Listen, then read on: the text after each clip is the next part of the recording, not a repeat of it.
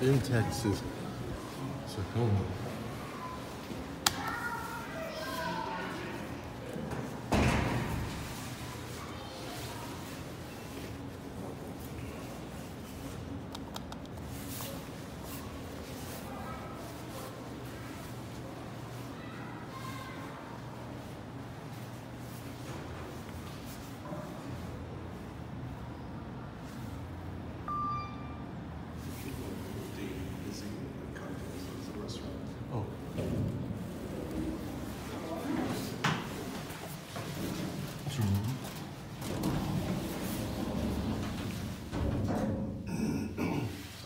Restaurant in here, like, like we have at, uh, Neiman Marcus and Nordstrom's.